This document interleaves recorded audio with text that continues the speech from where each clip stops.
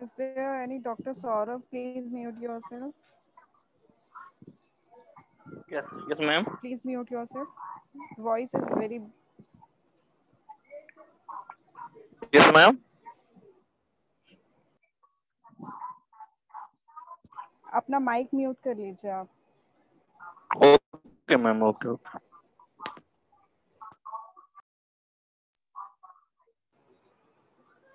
Just wait for two minutes. Other participants will also admit in.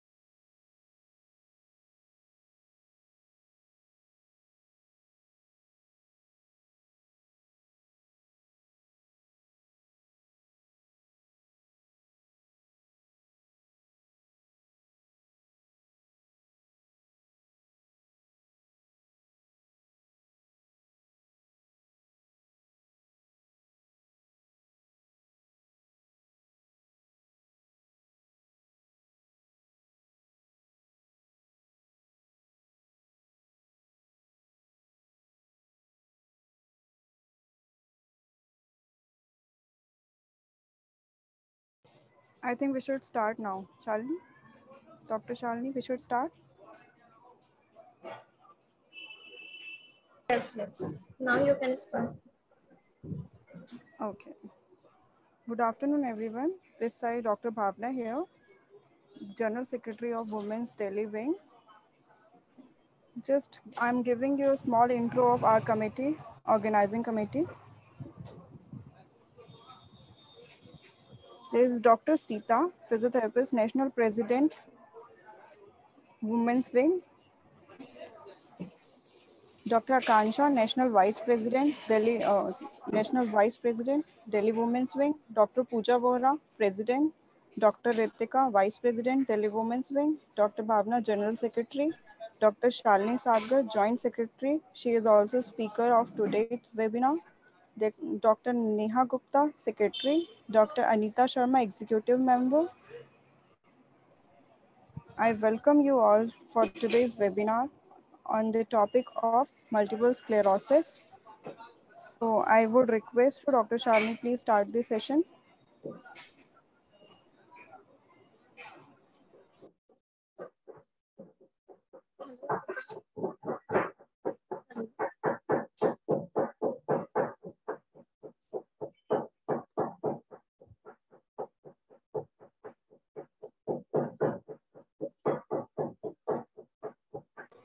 Dr. Shalini, there is some voice. Am I am I audible to you?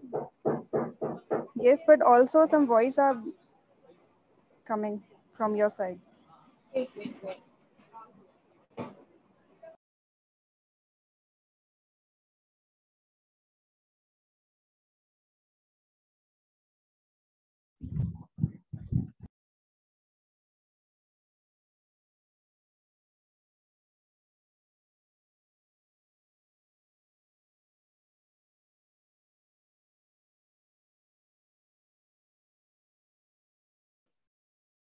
Now it's clear. Yeah, yeah. You can start now. Okay.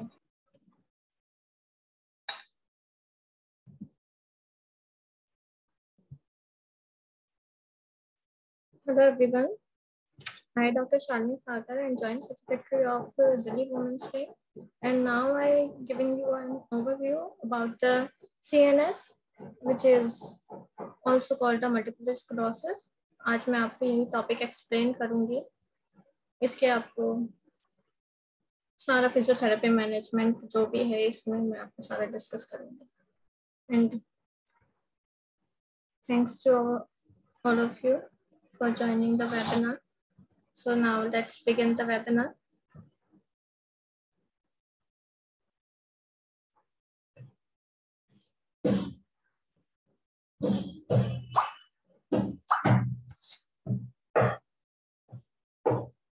So the topic is CNS, demyelination disease, multiple sclerosis, जिसको हम multiple sclerosis भी बोलते हैं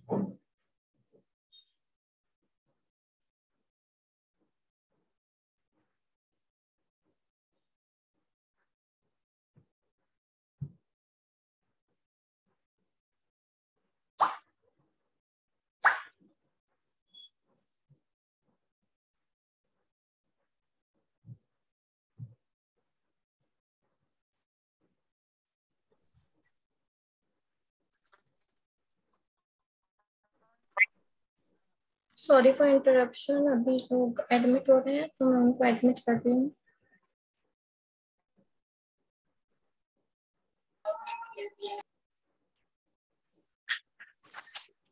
Please mute your mic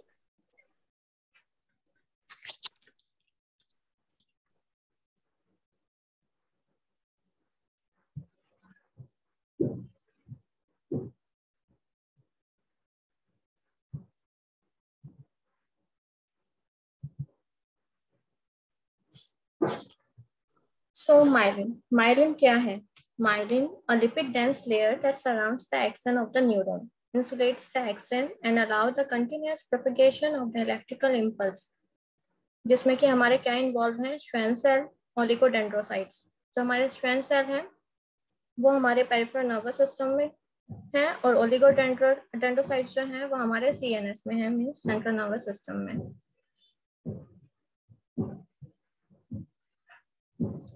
ये हमारा neuron का आपका structure है। मैं आपको न्यूरॉन का स्ट्रक्चर एक बार अच्छे से एक्सप्लेन कर देती हूँ। न्यूरॉन में हमारा है न्यूक्लियस। न्यूक्लियस के outer side cell body axon myelin sheath and dendrites तो हमारा जो न्यूक्लियस का काम है, वो क्या करता है? कंट्रोल करता है एंटायर न्यूरॉन को। और जो हमारी सेल बॉडी है, वो ऑर्गेनाइज करती है और जितने भी सेल के फ़ंक्शन है उनको ऑर्गेनाइज करने में हेल्प आउट करती है।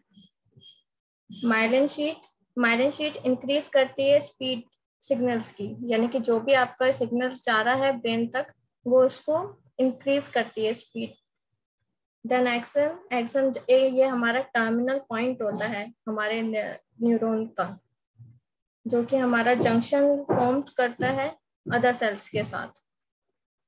और हमारे डेंड्राइट्स डेंड्राइट्स क्या करते हैं? रिसीव करते हैं हमारे सिग्नल्स को from the other cells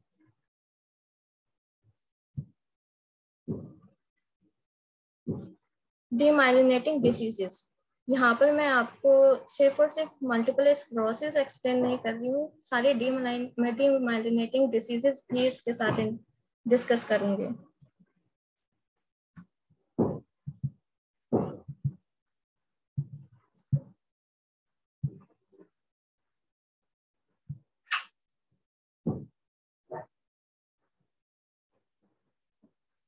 demyelinating diseases में होता क्या है? डैमेज होता है हमारी माइलेंस की शीट का, जो जिसमें हमारे पीएनएस इन्वॉल्व होता है और सीएनएस इन्वॉल्व होता है।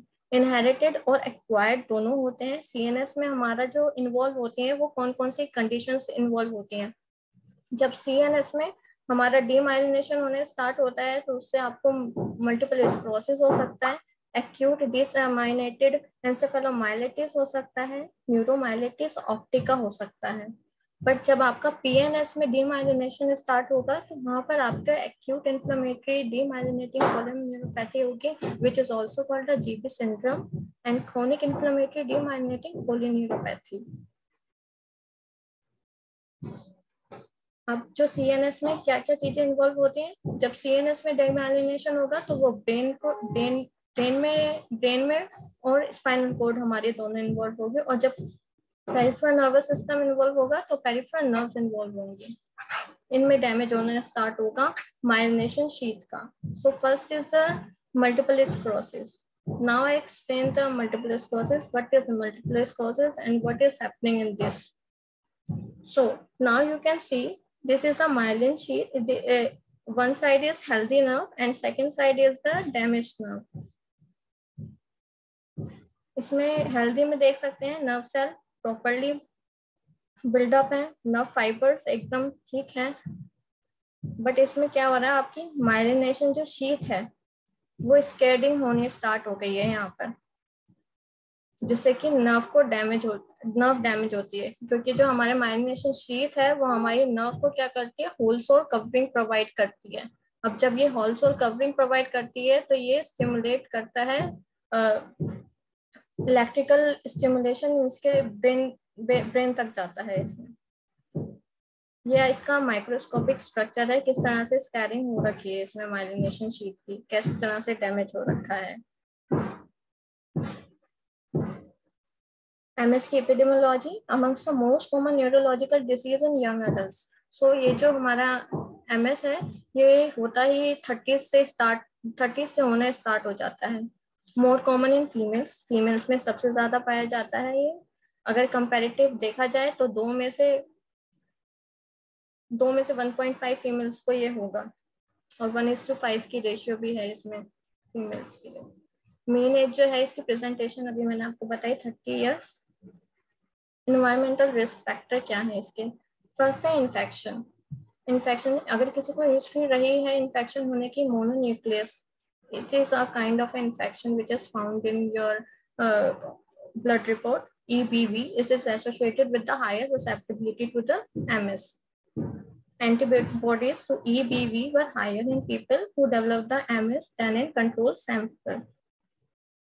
So जिनमें EB uh, जो आपके ईबीवी से जो एंटीबॉडीज हायर होंगे जिनमें तो उसमें हम ये चीज़ एक ससेप्ट रख सकते हैं कि एक उन लोगों को मल्टीपल प्रोसेस होने के चांसेस हो सकते हैं but within the limit हम उनको कंट्रोल रख सकते हैं।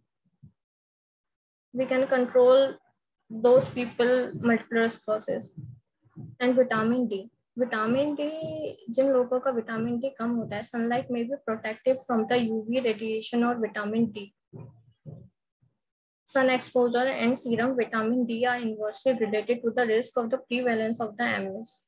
And vitamin D levels are inversely related to the MS disease activity. यानी कि जिन लोगों का विटामिन डी कम होता है उन लोगों में भी चांसेस होते हैं कि उनको MS हो सकता है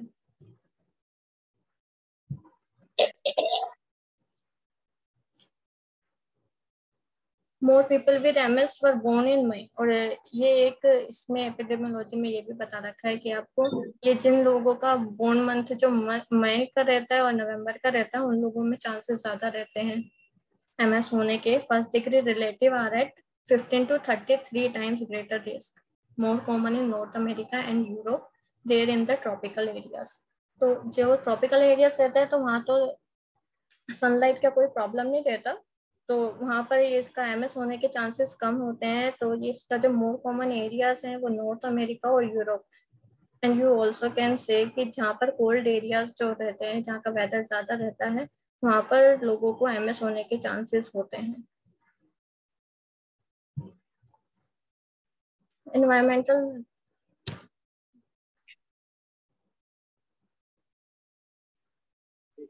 संजू खीर तो खा ले।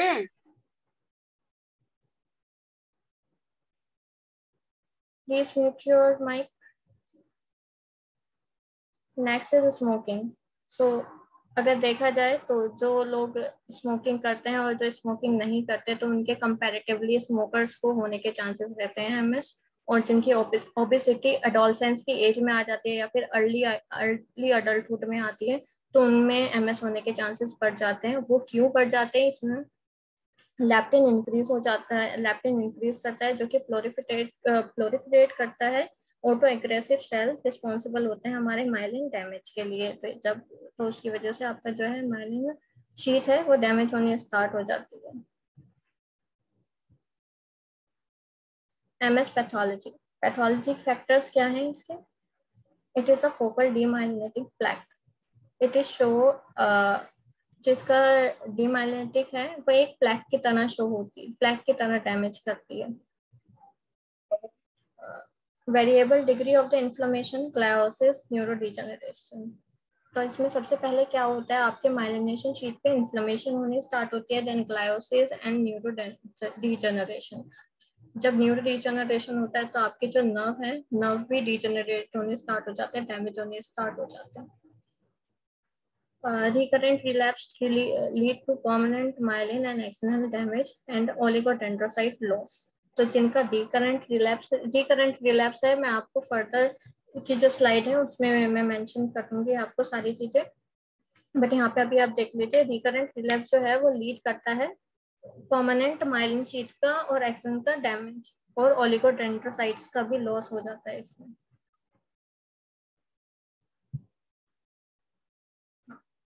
तो यहाँ पर है ये, इसके टाइप्स हैं एमएस के। R R M S S P M S P P M S and P R M S one by one I explain you all and every one of sub type of M S so first है हमारा R R M S R R M S जो है, वो हम उसको बोलते हैं relapsing remitting multiple sclerosis इसमें बाउट होता है auto immune disease auto immune system पे ये अटैक करता है। और जब ये इसमें अटैक कर अटैक करता है तो इसमें अटैक होने के एक साइकिल में अटैक करता है। फ़र्स्ट वन मंथ के इंटरवल में अटैक करेगा, या फिर किसी किसी के केसेस में ऐसा होता है कि वन ईयर के गैप में आपको अटैक करता है।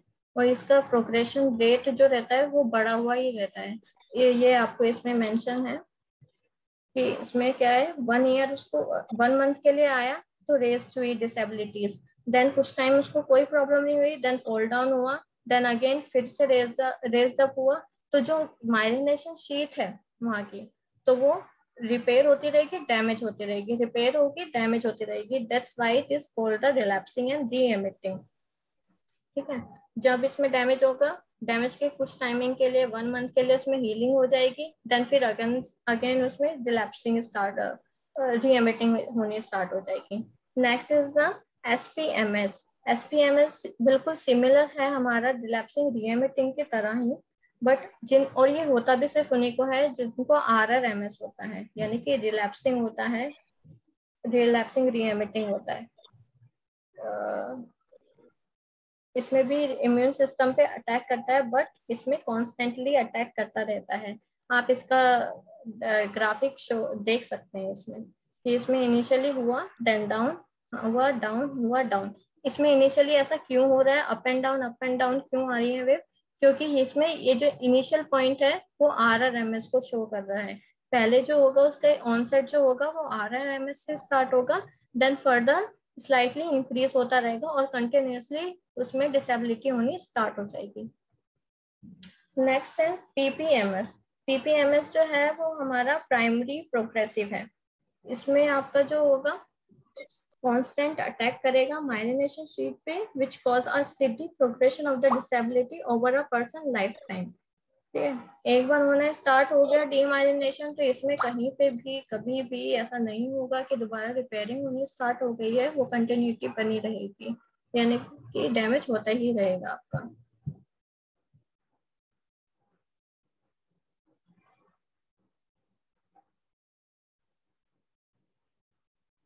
कंटिन्यूस डैमेज होता रहेगा और ऐसा सिर्फ़ टेन परसेंट ऑफ़ केसेस में देखा जाता है। पीआरएमएस पीआरएमएस प्रोग्रेसिव रिलैप्सिंग है मल्टीपल स्क्लोरोसिस का कांस्टेंट अटैक करता है सुपर इम्पोज करता है डिसेबिलिटी को और इसमें कुछ टाइम के बाद जो रहता है कि स्पीड अप हो जाती है आपका डिजेनरेशन होना।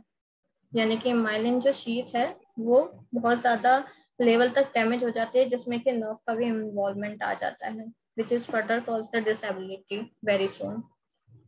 और ये आपके वन और टू परसेंट ऑफ़ केसेस में ही देखा जाता है। एमएस का कोर्स क्या है? देखिए, यहाँ पे इसमें पूरा मैंने एक्सप्लेन करा हुआ है। आपको नाउ आपको अभी समझ में आ जाएगा सारी चीज़ें। Relapsing remitting is R R M S and secondary progressive is the S P M S primary progressive PPMS और रिलैप्सिंग रिलैप्सिंग प्रोग्रेशन ये आप इसको रिलैप्सिंग प्रोग्रेसिव भी बोल सकते हैं और प्रोग्रेसिव रिलैप्सिंग भी कर सकते हैं। तो इसमें कंफ्यूज होने की कोई रिक्वायरमेंट नहीं है आपको।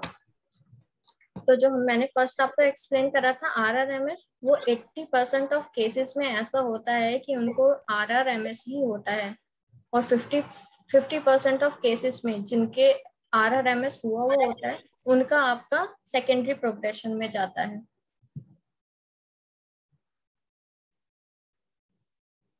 एमएस के सिम्टम्स क्या हैं? फ़र्स्ट है ब्लड विजन आता है। ये इसका सिम्टम है। You can see in this picture how blurred they people see and one side is clear image optic neuritis ये इसका साइन और सिम्टम है। आप इसको कोई भी चीज़ को मल्टीपल स्क्रोसिस या फिर किसी फटर डिसीज से कोरिलेट नहीं करना। ये मल्टीपल स्क्रोसिस का साइन और सिम्टम्स बता रही हूँ। इसमें क्या होगा? ब्लड विजन होगा पेन एक्सपेटेड एक्सपेटेड होगा। जिस, जब आई मूवमेंट होगी, तब तब पेन फील होगा। रिड्यूस होगा perception of colour flash of light on moving the eyes अब जब आईज पे फ्लैश लाइट पड़ेगी तो वो इधर उधर जाएँगी आई बॉल फोकस नहीं आएगा। And large blind spot next है cerebellum related to the MS ठीक है? इसमें जो है, जब इसमें ब्रेन में, क्योंकि ये जो हमारा मल्टीपल स्कोसिस है, उसमें हमारा सीएनएस पे एक्ट कर रहा है। सीएनएस के पार्ट्स को डैमेज कर रहा है ब्रेन को और स्पाइनल कोड को। तो जब ब्रेन का जो सेरिबेलम का पार्ट जब उसमें डैमेज करना स्टार्ट करेगा तो उसको क्या होगा? ऑस्किलोप्सिया डिसर्थ्रिया और इम्बैलेंस यानी कि विजुअल जो है विजुअल में डिस्टर्बेंस क्रिएट होंगे।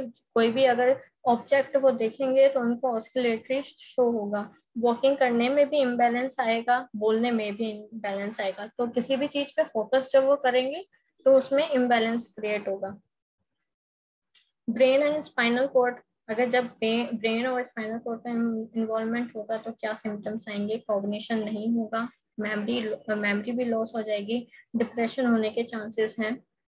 और और जब प्रोसेसिंग प्रोसेसिंग स्पीड रहेगी, कोई भी चीज़ को भूलने की, कभी याद आ रहा है, कभी याद नहीं आ रहा, कभी याद रहेगा, कभी याद नहीं रहेगा। वीकनेस हो जाएगी मसल्स की। यहाँ पे जो वीकनेस हो रही है, वो मसल्स की वीकनेस हो रही है। Upper and lower extremities both sensory loss of sensory loss होगा नमनेस रहेगी। स्फिंक्ट्रिक डिस्फंक्शन रहेगा। एंड लिथर्मिट साइन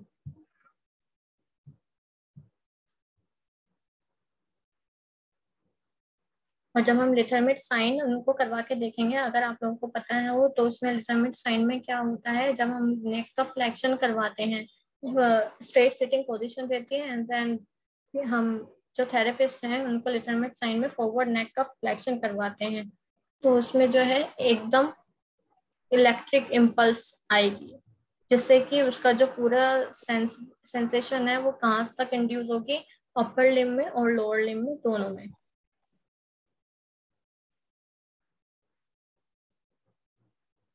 ट्रांसवर्स माइलेटिस ये भी हमारा मल्टीपल स्क्लेरोसिस में होता है। जो माइलिन है वो ट्रांसफ़र साइड से इन्फ्लेमेशन हो, जा, हो जाती है। A general term that indicates the inflammation of the spinal cord यानी कि हमारे स्पाइनल कॉर्ड में इन्फ्लेमेशन हो रही है जो फर्दर इंडिकेट करती है। जिसको ट्रांसफर्स माइलेटिस होता है तो स्पाइनल कॉर्ड में आगे चल के जो है इन्फ्लेमेशन क्रिएट होती है। कुछ भी कॉज पाया था एमएस की वजह से भी हो सकता है आपका और एनमो की वजह से भी हो सकता है, किसी इन्फेक्शन की वजह से भी हो सकता है कनेक्टिव टिश्यूज की वजह से भी हो सकता है। तो ज़रूरी नहीं है कि अगर उसको ट्रांसफर्स हो रहा है तो हम उसको कोरिलेट कर दें, आपको मल्टीपल प्रोसेस से ऐसा नहीं होगा। ट्रांसफर्स माइलेटिस का होने में इंफ्लेमेशन आएगी surroundings of the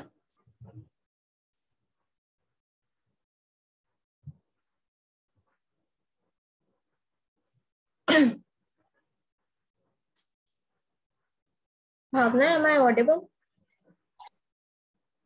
Yeah, yeah, you are. Okay. तो जो हमारे स्पाइनल कोड है रिलेट करेगा motor sensory and autonomic dysfunction में सेंसरी लेवल जो है उसमें उसको भी डेफिशिट करेगा and unilateral and bilateral both एथोफाइन and एथोफिनोमेना न्यूरोलॉजिकल डिस्फंक्शन है स्टीरियोटाइप्ड रहते हैं लेस देन 24 आवर्स कभी कभी ऐसा होता है किसी किसी को फिनोमिना होता है, जिसमें कि हमारा क्या होता है न्यूरोलॉजिकल डिस्फंक्शन आता है स्टीरियोटाइप रहते हैं, और ये सिर्फ़ और सिर्फ़ 24 आवर्स यानी कि 24 आवर्स रहेगा या लेस देन 24 आवर्स रहेगा, और ये रिवर्सिबल होता है रिवर्सिबल नहीं रहता। Related to the fluctuation in external conduction properties due to the increasing of body temperature और ये किसकी वजह से होता है body temperature external में external का conduction होने में जो है fluctuation होता है जिसकी वजह से body temperature increase हो जाता है तो कभी कभी ऐसा होता है कि कंफ्यूजन हो जाते हैं कि कि उनको बता दिया जाता है कि आपको मल्टीपल स्क्लोसिस है बट लेकिन वो 24 आवर के लिए ही सस्टेन करता है बॉडी में and then it will be reversible and after 24 hours they will be compensate with this condition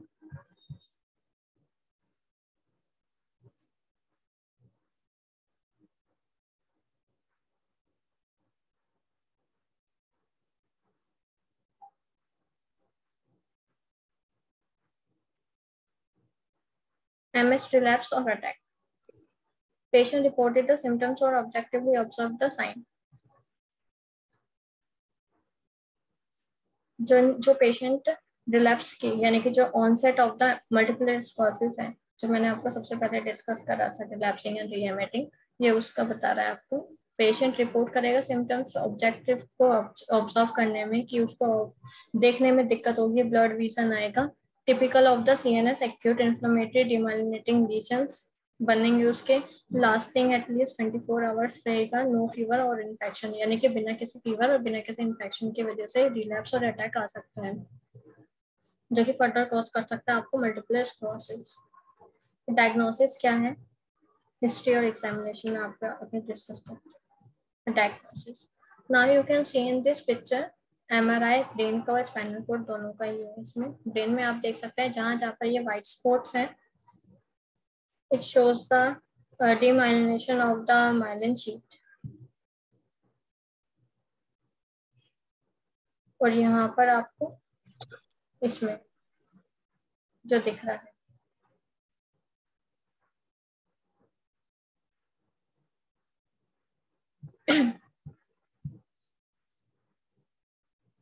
तो इससे आप डिटेक्ट कर सकते हैं एमआरआई की हेल्प से। कि उसको डीमाइलिनेशन हो रखा है या नहीं है माइलिनेशन शीट में डैमेज है या नहीं है।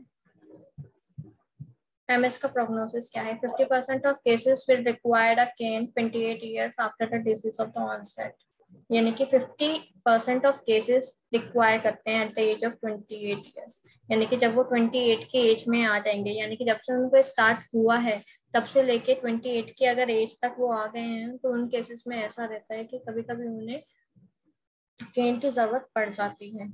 ये उन लोगों के साथ होता है जिनका ट्रीटमेंट चल रहा होता है। जिन लोगों का ट्रीटमेंट नहीं चल रहा होता उन लोगों के केसेस में तो और ज़्यादा डिसेबिलिटी क्रिएट हो जाती है। 25 परसेंट ऑफ़ केसेस में ऐसा रहता है कि उनको व्हील चेयर की ज़रूरत हो जाती है एट द एज ऑफ़ जब तक वो 44 ईयर की एज आते हैं, जैसे जब से उन्हें स्टार्ट हुई है। यानी कि जब से शुरू हुई है, उसके अट्ठाईस साल बाद एंड देन जब उनका फोर्टी फोर ट्वेंटी फाइव के परसेंट ऑफ़ केसेस में फोर्टी फोर ईयर की एज के बाद। एमएस का ट्रीटमेंट क्या है? एक्यूट ट्रीटमेंट में एक्यूट ट्रीटमेंट में हम उनको क्या देंगे? यानी कि एक्यूट जो है रिलैप्स रीएमिटिंग हो रखा है। तो हम उसमें स्टेरॉइड्स देंगे फोर्थ मिथाइल देंगे। Four three five three five days के लिए देंगे, जो कि आपका ये ट्वेंटी फोर आवर्स वाला जो अभी बताया एक्सप्लेन करा था आपको। प्लाज्मा एक्सचेंज कर सकते हैं plasma therapy which is also called plasma therapy disease is modifying treatment modifying treatment ये आपका उन लोगों के साथ है जिनका रिलैप्सिंग रीएमिटिंग हो रहा है। देन सेकेंडरी सेकेंडरी स्टेज तक पहुँच रहे हैं वो लोग। सेकेंडरी प्रोग्रेसिव आ रहा है तो उसके अकॉर्डिंग क्या, किस तरह से हम ट्रीटमेंट को मॉडिफाई करेंगे? Reduction of number of the relapsing per year यानी कि जिन लोगों का ट्रीटमेंट चल रहा है फ़र्स्ट स्टेज में from the onset of the MS तो उनके साथ रिडक्शन हो जाएगा। यानी कि जो उनके माइलिनेशन शीट है वो जो डैमेज होने स्टार्ट हुई थी वो धीरे धीरे रिपेयर भी हो रिपेयर होती रहेगी मेंटेन्ड रहेगी। Then second is reduction of M R I of new M R I lesion यानी कि जो एम आर आई में लीजन उनके बना हुआ था डिटेक्ट हुआ था तो उसका जो एरिया है वो कम होना स्टार्ट हो जाएगा। Then, uh, then third is prolongation of time to development of secondary progressive. तो जिनको डेवलपमेंट होने के चांसेस हो रहे थे सेकेंडरी प्रोग्रेशन तो उनका वो चीज़ भी uh, काफ़ी टाइम बाद जाके आएगा। ये नहीं है कि फ़र्स्ट उनको रिलैप्सिंग हुआ एंड देन वो सेकेंडरी स्टेज पे पहुँच गए नहीं। बहुत टाइम बाद जाकर वो प्रोग्रेसिव डिज़ीज़ पे पहुँचेंगे सेकेंडरी प्रोग्रेसिव डिज़ीज़ पे।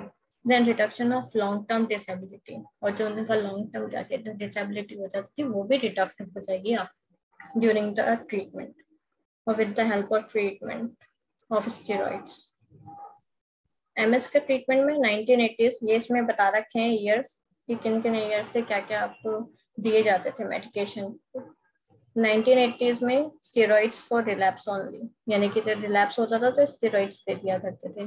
1990s में डिसीज मॉडिफाइंग हुई थेरेपीज भी मॉडिफाई हो गई आपकी डिसीज के अकॉर्डिंग तो इंटरफेरॉन दिया हमने और कपैक्सन दिया।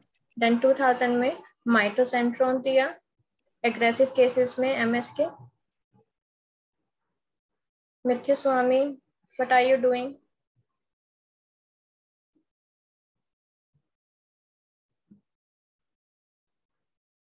और 2010 के केसेस में ओरल मेडिकेशन देंगे एंड ओरल मेडिकेशन में वो चीज़ अभी भी अवेलेबल है, वो medication फिंगोलो fingolimod and the teriflunomide and dimethyl फ्लोरोमेड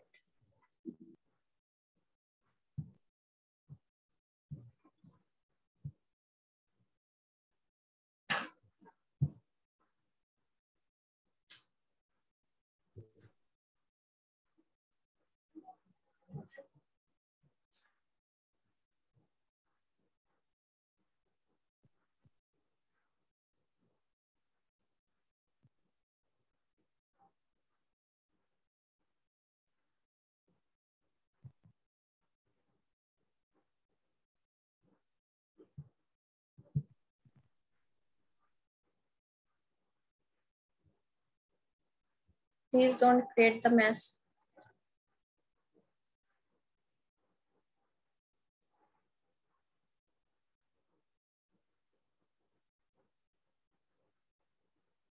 Neuromyelitis optica.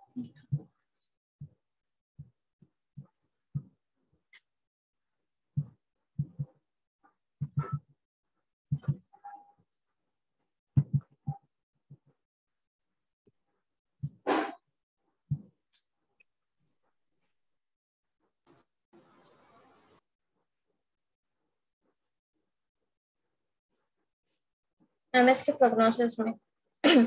इसमें आपको बता रखा है कितने परसेंट ऑफ़ केसेस में कितने इयर्स के बाद चेंजेस आने स्टार्ट होंगे तो 15 इयर्स के बाद 21 परसेंट चेंजेस आ जाएँगे। 21 परसेंट ऑफ़ केसेस में ऐसा होता है कि उनको किसी भी एज की रिक्वायरमेंट पड़ती है। 28 इयर्स की एज में 50 परसेंट उनको एज की रिक्वायरमेंट रहती है एंड फोर्टीज की एज में उनको 70 परसेंट ऑफ़ वो जब इतने ज़्यादा डिसेबिलिटी क्रिएट हो जाती है तो वो व्हील चेयर तक पे आ जाता है और बेड रिटर्न भी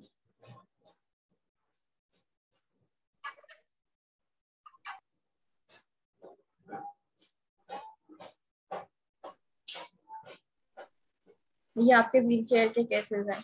जो लास्ट था, वो था जो भी एड हम उनको प्रोवाइड कर कर रहे थे, जो कि उसको हैंड में ले सकते हैं। आपके हो गए एक्सिलरी क्रचेस वगैरह हो गए, आपकी स्टिक हो गई तो ये उन परसेंट ऑफ़ केसेस का इसमें बता रखा है। फिफ्टीन ईयर की एज में ट्वेंटी वन ट्वेंटी एट में फिफ्टी परसेंट एंड फोर्टी में sixty nine percent of cases अब यहाँ पर आता है व्हील चेयर में। थर्टी की थर्टी की एज तक, यानी कि from the onset of the M S thirty तक आने में फोर्टी परसेंट ऑफ़ केसेस में ज़रूरत रहती है व्हील चेयर को और फोर्टी ईयर्स के बाद twenty two percent of cases में रिक्वायरमेंट होती है व्हील चेयर की एंड फोर्टी फोर ईयर्स के बाद twenty five percent of cases में नीड रहती है।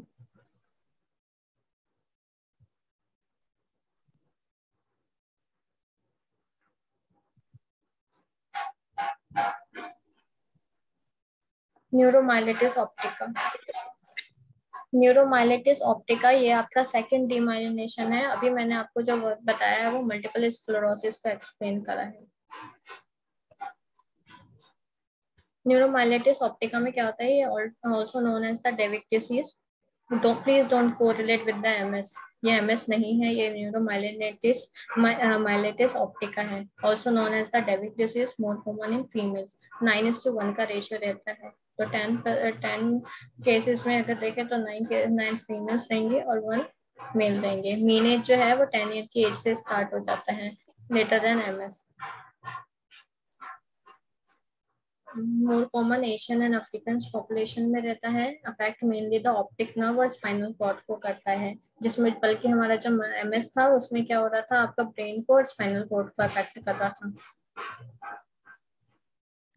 More severe attacks than in MS यानी कि एमएस से ज़्यादा सिवियर अटैक्स आते हैं इसमें।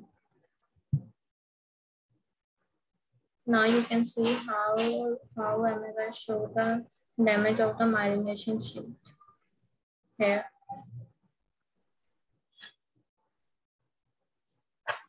NMO की पैथोलॉजी क्या है? न्यूरोमाइलिटिस की पैथोलॉजी है एस्ट्रोसाइटोपैथी टारगेट्स द टारगेट करता है ये आपका aquaporin four a water channel which reaches the aquaporin four ABD in 70 percent of cases तो किसको टारगेट करता है ये एक्यूपोराइन को? जो हमारा बॉडी का वाटर चैनल है, उसको अफेक्ट करता है। और थर्ड थर्ड पॉइंट है इसका vasculocentric and rosette pattern deposition of the immunoglobin and complement जब ये इन दोनों का डिपोजिशन करेगा तो वहाँ पर जो आपके इम्यून सिस्टम है, उनको अटैक करेगा। जिससे कि जल्दी डैमेज होना स्टार्ट हो जाएगा। और इसमें आपका रिलैप्सिंग की तरह रीएमिटिंग रिलैप्सिंग रीएमिटिंग की तरह नहीं होगा। इसमें कंटिन्यूसली सिवियर कंडीशन बनती ही जाएगी। ADEM it's a third condition of the demyelination disease. First हमने मल्टीपल स्क्रोसिस पढ़ी देन सेकेंड हमने एनएमओ पढ़ी then third is the ADEM acute disseminated encephalomyelitis इसमें क्या होता है? सीएनएस इन्फ्लेमेशन होती है डीमाइलिनेशन डिसीज है। ये इसमें सिर्फ़ सीएनएस पे एक्ट करेगा। Frequently proceeded by the vaccination और इन्फेक्शन तो इसमें फ्रिक्वेंटली हम क्या प्रोसीड कर सकते हैं? वैक्सीनेशन देंगे और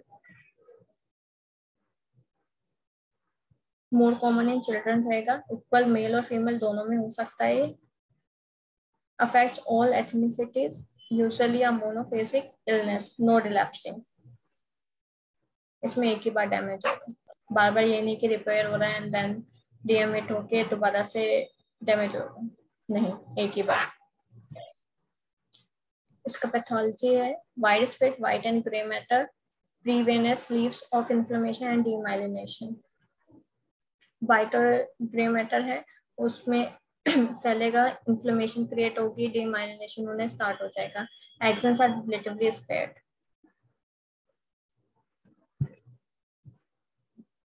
symptoms encephalopathy जिसमें कि बॉडी लेथार्जी रहेगी स्टिपर और कमोनिटी हो जाने के चांसेस है।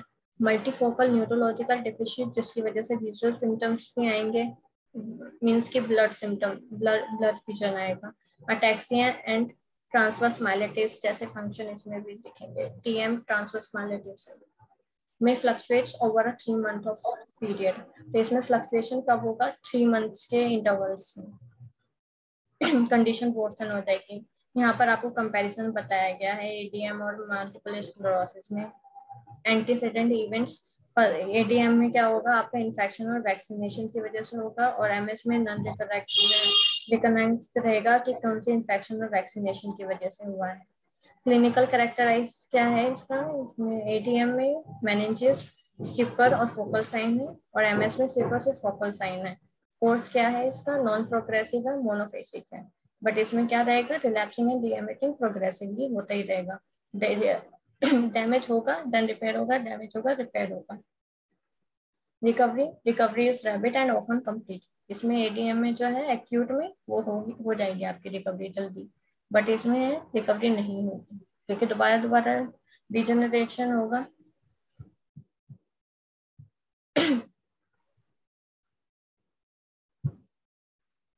एडीएम का ट्रीटमेंट क्या है? एक्यूट ट्रीटमेंट इसमें हम स्टेरॉइड्स देंगे प्लाज्मा एक्सचेंज कर सकते हैं इंट्रावेनस इम्यूनोग्लोबिन यानी कि इम्यूनिटी बूस्टअप करने के लिए हम इसको इंट्रावेनस इम्यूनोग्लोबिन प्रोवाइड करेंगे पेशेंट को।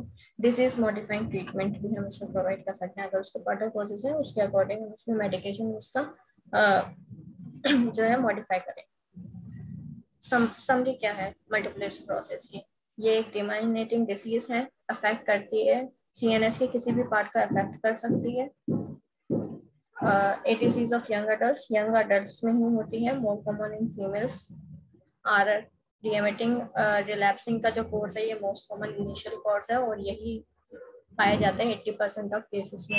अगर किसी को मल्टीपल स्क्लेरोसिस हो रहा है तो 80 परसेंट ऑफ़ केसेस में यही चांसेस रहते हैं कि उसको ऑनसेट से ही डीएमेटिंग रिलैप्सिंग हो रहा है। सॉरी रिलैप्सिंग डीएमेटिंग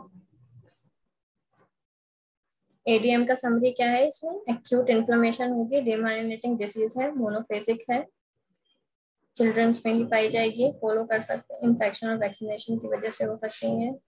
इन्फेक्शन और वैक्सीनेशन होगा उनका तो उनमें फीवर होने के चांसेस इन्फेक्शन और वैक्सीनेशन होने की वजह से, उनमें फीवर के चांसेस जिसकी वजह से जो उनकी इम्यूनिटी है, वो बूस्टअप नहीं रहेगी। इम्यूनिटी डाउन होने की वजह से उनको एडीएम होने के चांसेस रहते हैं। Encephalopathy is a prerequisite for the diagnosis in the children children में उनको इंसेफेलोपैथी हो सकती है। यहाँ पर आपको M S versus M N M O versus ADEM सबका बता रखा है एज फैक्टर कि किस किस एज में कौन कौन से पे डिफेक्ट करेगा। एम एस जो है वो आपके थर्टी की एज में एनएमओ फोर्टी की एज में एडीएम जबकि चिल्ड्रंस में होगा तो फाइव फाइव टू एट की एज में हो सकता है बच्चों को। जेंडर मोस्ट कॉमन है फीमेल्स में। एम एस एनएमओ जो है, वो मोस्ट कॉमन फीमेल्स में है। एडीएम जो है इक्वल मेल और फीमेल दोनों में ही है। यानी कि बॉयज़ एंड गर्ल्स दोनों में हो सकता है चिल्ड्रंस में। एथेनिसिटी क्या है इसकी? एन एंड यूरोप एथेनिसिटी मीन्स कि वो कौन सी जगह पे ज़्यादा हो रहा है? एन एंड यूरोप यानी कि जो हमारा एमएस है, वो कोल्ड एरियाज़ में होगा। एनएमओ कहीं पे भी हो सकता है। एशिया एशिया के जो एरियाज़ हैं, उनमें हो सकता है। और एडीएम सभी जगह हो सकता है। कोल्ड इसमें कोई वेदर कहीं पे भी कोई एक्ट परफॉर्म नहीं करेगी। सिम्टम्स क्या है? सीएनएस पे एक्ट करेगा एमएस एनएमओ में भी सीएस पे करेगा ऑनसेट एंड एंड ये इसमें सी एन एस में कंडीशन बता रखी हैं। ऑप्टिक न्यूराइटिस हो गया और ट्रांसमिस वगैरह ये सब हो गया और एक्यूट न्यूरल डिमाइलिनेशन हो गया। एडीएम में सीएनएस पे एक्ट करेगा। कोर्स क्या है इसका? आर आर प्रोग्रेसिव रहेगा रिलैप्सिंग रहेगा एनएमओ में और एडीएम में मोनोफेजिक रहेगा। ट्रांसमिस में के ये आपके सेगमेंट्स उसमें बता रखे हैं। एंड एक्यूट ट्रीटमेंट में स्टीरोइड्स देंगे स्टीरोइड्स और प्लेक्सॉन देंगे स्टीरोइड और प्लेक्सॉन देंगे। डिसीज मॉडिफाइंग है। मल्टीपल स्क्लोरोसिस आपकी मॉडिफाइंग है एनएमओ भी मॉडिफाइंग है बट एडीएम कोई मॉडिफाइंग नहीं है। हेल्थ न्यूट्रिशन क्या है इसमें? तो फ़र्स्ट आ जाता है आपको, अगर किसी को ये साइन एंड सिम्टम्स आ रहे हैं तो हम उसको उसको एडवाइस करेंगे वो सही खाए एक्सरसाइज करें। साइन एंड सिम्टम्स को अवॉइड करने के लिए जो ट्रिगर फ़ूड जो है इसमें जैसे कि फैटी एसिड जिन जिन फूड्स में हाई फैटी एसिड रहता है तो हम उन्हें अवॉइड करने पाएँगे क्योंकि वो ज़्यादा जल्दी ट्रिगर करते हैं इम्यून सिस्टम को। Eat food rich in omega three यानी कि उनको डाइटरी में ओमेगा थ्री एड ऑन करने को बोलेंगे increase intake of the vitamin D help at in the system rehabilitation therapies कौन कौन सी दे सकते हैं? मल्टीपल प्रोसेस में फ़र्स्ट है physical therapy second speech and language therapy अगर जिनको डिसर्ट्रिया होगा तो हम स्पीच थेरेपी देंगे। ऑक्यूपेशनल थेरेपी प्रोवाइड करेंगे cognition rehabilitation vocational rehabilitation multiple disciplinary program तो ये जो जितने भी हम रिहेबिलिटेशन पेशेंट को प्रोवाइड करवा रहे हैं, उसके साइन और सिम्टम के अकॉर्डिंग प्रोवाइड करवा रहे हैं। ज़रूरी नहीं है कि हर किसी मल्टीपल स्क्लोसिस को स्पीच का प्रॉब्लम आएगा ही आएगा। नहीं बट ये सब चीज़ें कोरिलेट करेंगी जिनको मल्टीपल स्क्लोसिस रहेगा। Physical therapy treatment for the multiple sclerosis is first है स्ट्रेंथनिंग हम पेशेंट की स्ट्रेंथनिंग एक्सरसाइजेस कराएँगे क्योंकि हमने पढ़ा है साइन एंड सिम्टम में कि मसल वीकनेस होनी स्टार्ट हो जाती है तो हम इसकी स्ट्रेंथनिंग एक्सरसाइज करवाएँगे such as usually such as strengthening exercise such as using a treadmill or stationary bike and are beneficial for the someone with early ms तो जो स्ट्रेंथनिंग की जो करवाएँगे, वो अर्ली केसेस में स्टार्ट करवाएँगे। वैसे ही हम on from the onset from the जिनको ज़्यादातर, ज़्यादा डैमेज हो जाता है, हम उनको भी करवाते हैं क्योंकि मसल वीकनेस है तो स्ट्रेंथनिंग तो हमें कंटिन्यू रखनी ही पड़ेगी उनकी। In general the exercise program is based on the individual ability and progress at the person tolerance level और फ़र्स्ट ऑफ़ यहाँ पे मैं आपको बता देती हूँ कि हम किसी भी पेशेंट को एग्रेसिव एक्सरसाइज से स्टार्ट नहीं करवाएँगे। उसके टॉलरेंस लेवल के अकॉर्डिंग हम उसकी एक्सरसाइजेस स्टार्ट करवाएँगे, कितना वो एबल है उस एक्सरसाइज को परफॉर्म करने के लिए। लो से हाई में जाएँगे। The goal of the physical therapy in the early stage of the M S is to help the patient perform all their normal activities यानी कि जो उसकी एडीएल है, हम उसकी वो वो चीज़ नॉर्मल रूटीन से चले, उसके लिए हम वर्क करेंगे सबसे पहले। जिसमें कि हम स्ट्रेंथनिंग को इन्वॉल्व करेंगे एक्सरसाइज में। As M S progress further disability can occur research in the physical therapy has shown the aerobic exercises then हम स्ट्रेंथनिंग एक्सरसाइज में हम उसका एरोबिक एक्सरसाइजेस एड कर सकते हैं। वो हमारा प्लस पॉइंट रहेगा उस केसेस में।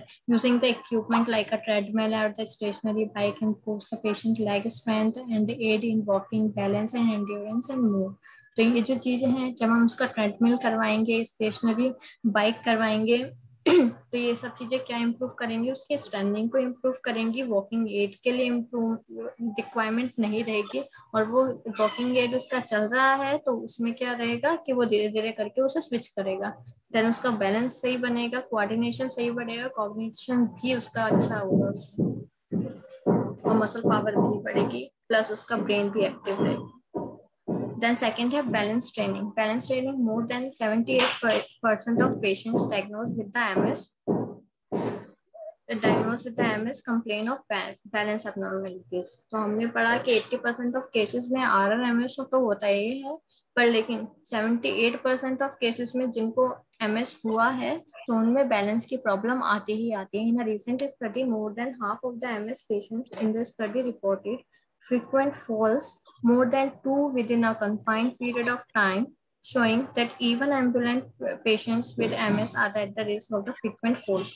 तो उन लोगों में बैलेंस की वजह से बैलेंस कम होने की वजह से जल्दी जल्दी रैपिड फॉल्स होने स्टार्ट हो जाते हैं खड़े हो ये ज़्यादा देर तक खड़े नहीं हो सकते उनके फॉल के चांसेस बढ़ जाते हैं balance training using a balance platform for stabilization along with a balance trainer pad or a board can improve the deficit in the posture control and measures of balance तो हम इसमें भी progression जो करवाएँगे उसका उसके कंडीशन के according करवाएँगे ये नहीं कि हम फ़र्स्ट डे ही उसको विदाउट सपोर्ट करके हम वन लेग स्टैंडिंग पे खड़ा कर देंगे नहीं स्टार्ट करेंगे, हम उसका विद सपोर्ट विद सपोर्ट से विदाउट सपोर्ट पे आएँगे। कोई भी अगर हम एक्सरसाइजेस कोई भी एक्टिविटी अगर हम पेशेंट से परफॉर्म करवा रहे हैं then it will be able to perform with with support then slowly slowly we will go for the without support whirlpool therapy whirlpool therapy अगर आप लोगों ने सुना हो whirlpool therapy it's coordinate with the water therapy but it is completely different from that uh, hydrotherapy or warm water therapy in whirlpool uh, whirlpools consist with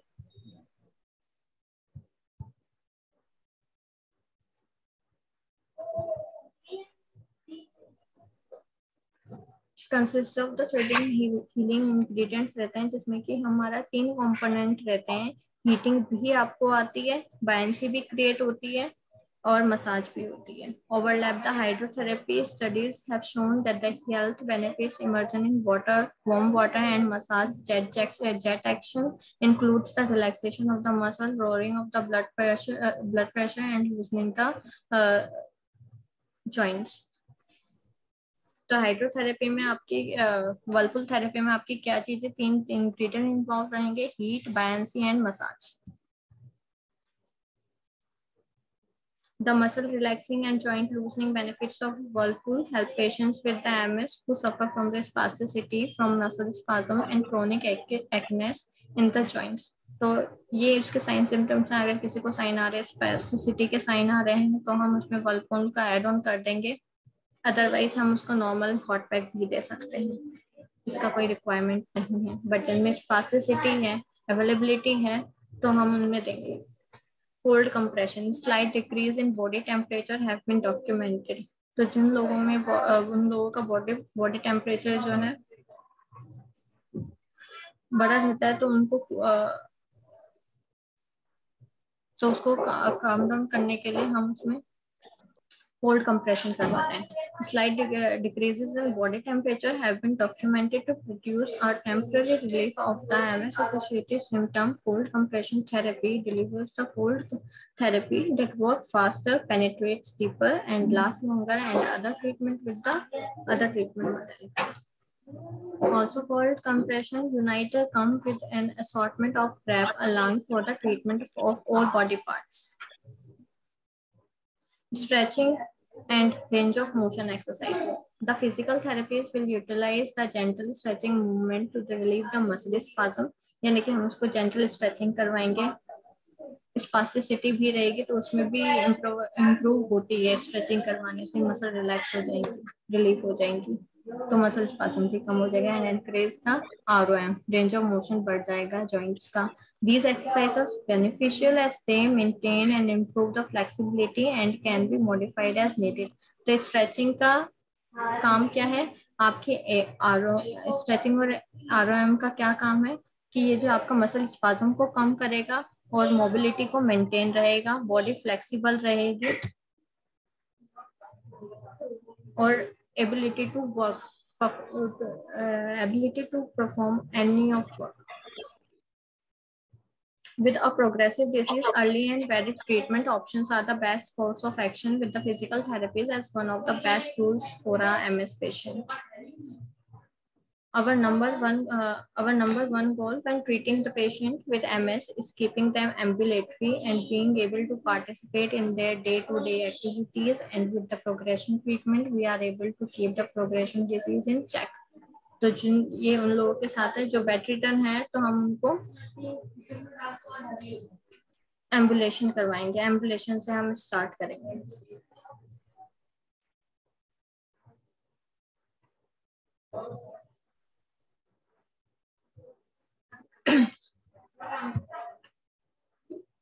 next है medication disease modifying drugs ये already मैं आपको explain कर चुकी हूँ, पर लेकिन ये जो डिज़ीज़ मॉडिफाइंग का था, उसमें मेंशन नहीं था तो यहाँ पे मैं आपको बता देती हूँ। जो अब जो ट्रीटमेंट प्रोटोकॉल चल रहा है एमएस के लिए एट द